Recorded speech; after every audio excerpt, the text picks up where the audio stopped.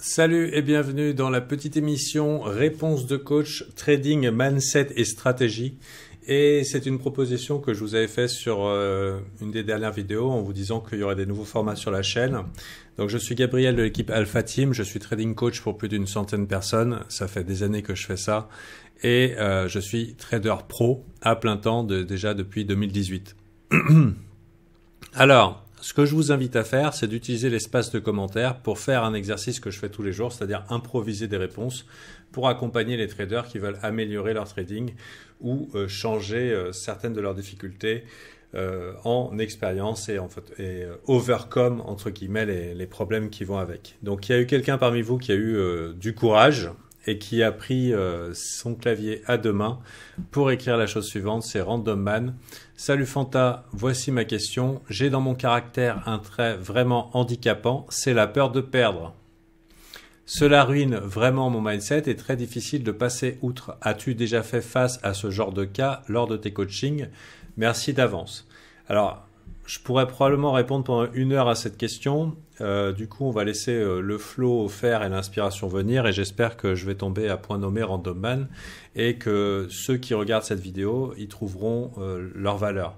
J'imagine que si je répondais à la même question un petit peu plus tard, les éléments de réponse seront un petit peu différents, mais on va venir, on va voir un petit peu ce qu'il en vient. Donc là, par exemple, j'ai dans mon caractère un trait vraiment handicapant, c'est la peur de perdre.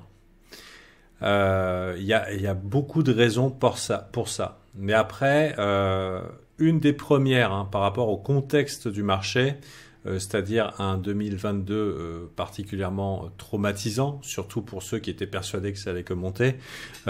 ici, on pourrait penser que ce n'est pas forcément un trait de caractère ou une aversion au risque particulière, mais globalement, euh, le chat échaudé qui craint l'eau froide. C'est que globalement, tu as, tu as été confronté au fait que ce n'était pas facile, que tu pouvais perdre, et globalement, euh, il y a de la souffrance qui va avec. Et plus ton risque était élevé, potentiellement, plus la souffrance qui allait avec est élevée. Et donc créer des traumas, des blessures émotionnelles.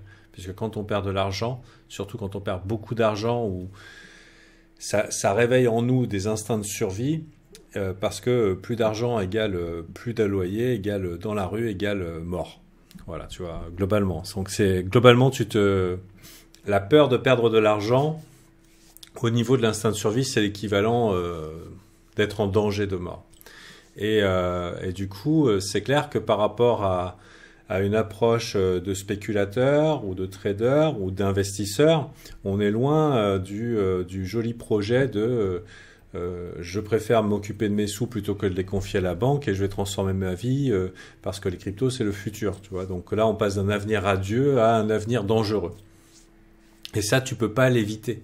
À la limite tu es tu es plus euh, tu es mieux informé qu'au moment où tu pensais que ça ne pouvait que monter, ou tu es mieux informé qu'au moment où tu pensais que c'était de l'argent potentiellement facile. Donc oui, tu es confronté à l'idée d'une réalité, c'est que tu peux perdre de l'argent sur les marchés. Et euh, bah, je dirais que c'est pas grave. C'est pas grave de perdre de l'argent de marché à partir du moment où tu fais quelque chose qui est, qui est tabou un petit peu, hein, surtout quand on est euh, euh crypto sympathisant ou euh, crypto fanatique, c'est la gestion du risque. Hein. C'est sûr que la gestion du risque, euh, Ici, tu vois ce cascadeur, il se met en flamme, mais il va pas être euh, brûlé pour la vie. Tu vois, il a, il a pris les devants, il fait exactement ce qu'il fait et il va être payé pour le faire. Donc, son job ici, ça va être de prendre un risque, mais c'est un risque mesuré et sous contrôle. Euh, donc ça, c'est extrait d'une formation que j'offre aux membres alpha. C'est développer le cran de créer d'exécuter son trading plan. Et euh, pourquoi j'ai fait ça? C'est parce qu'on avait beaucoup de traumatisés euh, du bear market et que j'avais remarqué qu'au bout d'un moment, syndrome du chien battu, et c'est pas de ta faute, hein, c'est pas de la faute euh, euh, d'un mauvais trait de caractère ou d'une difficulté à risquer, c'est que ton cerveau essaye de t'éviter la souffrance et au final, on se retrouve, au final, on se retrouve dans un coin, euh, la, main entre les, enfin la tête entre les deux mains, en train de, de prier maman, quoi. Pourquoi? Parce que bon, on vient de découvrir que c'était euh, potentiellement dangereux. Mais ce qui est dangereux, c'est pas le marché en lui-même. Ce qui est dangereux, c'est pas euh, le fait euh, que tu puisses perdre de l'argent.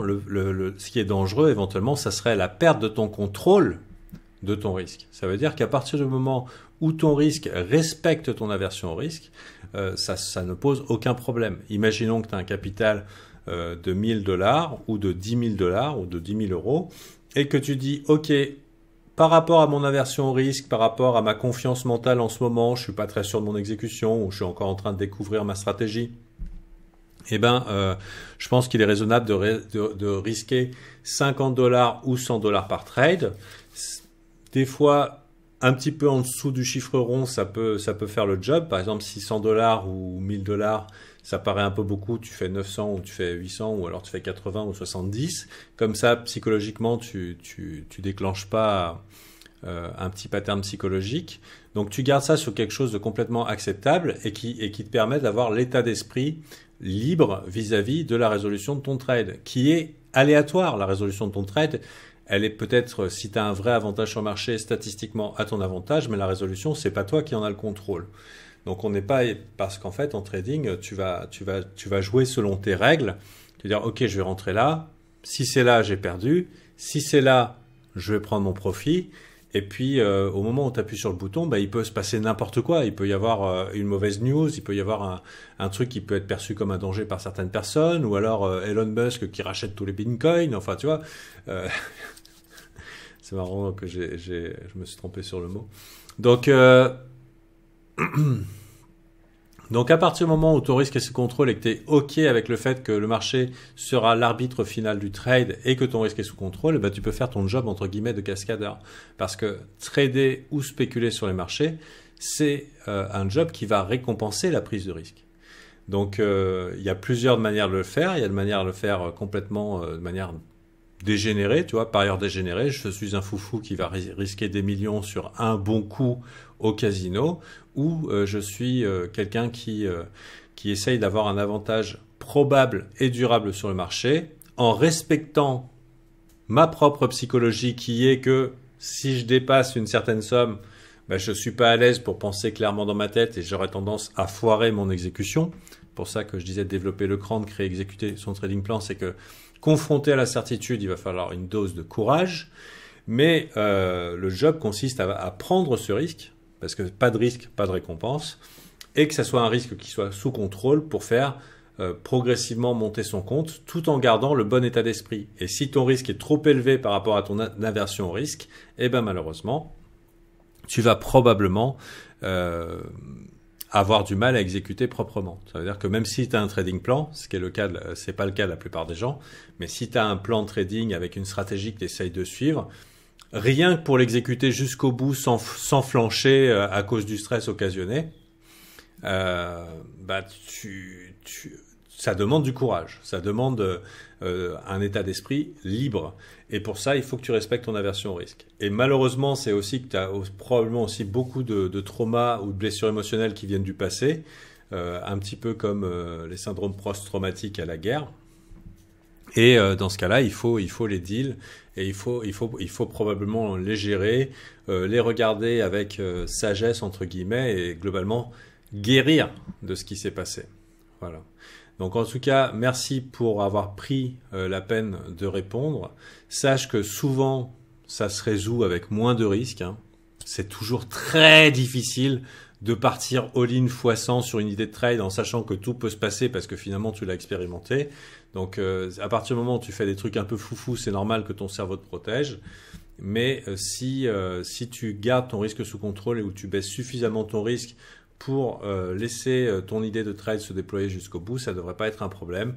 Donc baisse un petit peu. Ou alors ce que tu peux faire aussi, c'est te former davantage ou essayer de faire du backtesting d'une stratégie qui te donne suffisamment de confiance mentale pour pouvoir euh, te mettre sur les rails en disant ok ça je sais que j'ai 60-70% de réussite, je suis ok pour prendre le trade parce que du coup une petite confiance aveugle dans le travail que tu as déjà fait ou alors quand l'expérience en tant que trader elle vient, bah, tu, fais confiance à toi-même en disant ok je sais que euh, je vais arriver durablement à gagner des sous sur le marché. Enfin ce que je vous invite c'est euh, maintenant à poser vos questions pour la petite émission Réponse de coach mindset, trading et stratégie. Euh, ça peut être sur les trois sujets, ça peut être euh, pour, améliorer vos stratégies, ça peut être euh, de l'analyse, ça peut être des questions sur la psychologie justement. Et ça me ferait plaisir de vous y répondre complètement de manière gracieuse. Hein, c'est une opération que je fais dans le cadre de notre service. Mais là, vous voyez, c'est très court, donc c'est complètement OK. Ça permet de faire un contenu intéressant et original sur YouTube. Donc n'hésitez pas, c'était Gabriel pour Alpha Team et j'espère que j'ai pu aider un petit peu. Donc euh, la conclusion, hein, ça se joue au niveau du risque et de la préservation de ton intégrité euh, physique, c'est-à-dire te protéger. Donc euh, protège-toi et puis ça devrait bien se passer. Bye.